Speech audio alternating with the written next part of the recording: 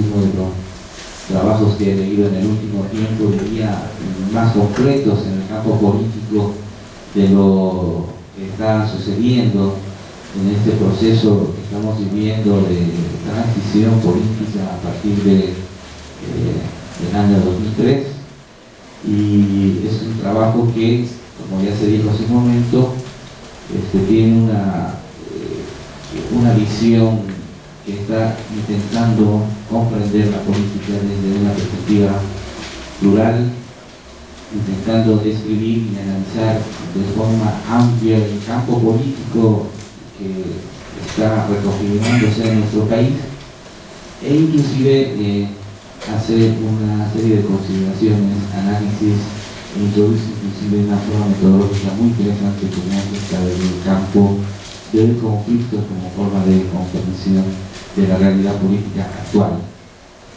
Eh, el trabajo, en, mi opinión, este, intenta eh, ser un trabajo amplio, global, trata de ver el proceso político desde diferentes perspectivas.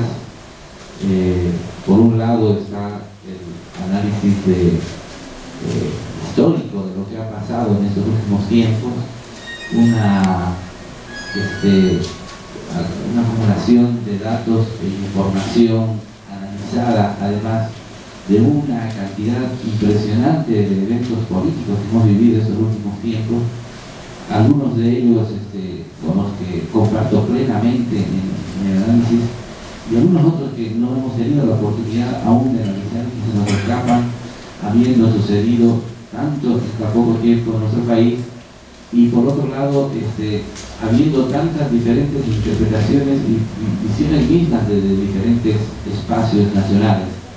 Eh, es decir, desde Santa Cruz habíamos visto con, mucha más fuerza, con una luz mucho más eh, potente el tema autonómico.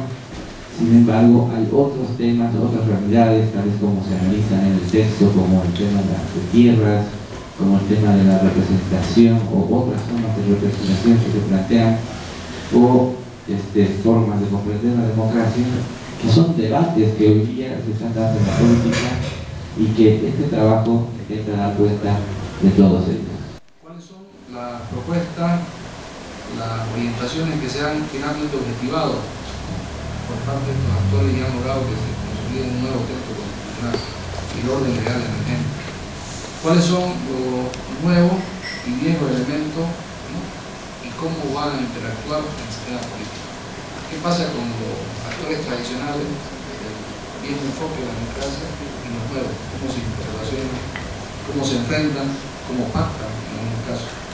¿Cuáles son las representaciones simbólicas y las resignificaciones planteadas por los movimientos sociales? Lo que decía Lucho, eh, un importante tema que se discute eh, transversalmente el libro es la resignificación de la democracia. que tiene un sentido para uno, tiene un sentido diferente para otro. Pero finalmente se impone un conjunto de fuerzas que logra una hegemonía política y social y logra la transformación del Estado. ¿Cuáles son las características de los nuevos actores, los movimientos sociales? ¿Cuál es el futuro? En lenguaje texto del derrotero de los partidos políticos finalmente del modelo de la democracia. Y en última instancia, ¿cuál es o qué cambios se han operado en el campo político de la A todas esas preguntas trata de resolver o de responder este trabajo. Este trabajo además constata que gran parte de la debilidad institucional que ha tenido nuestro sistema político y el sistema institucional de los partidos tiene su explicación en que han actuado y el sistema político ha actuado al margen de organizaciones de sociedades, de, comunidades preexistentes, previas, que responden a otra organización social, cultural, civilizatoria, que no fueron incorporadas.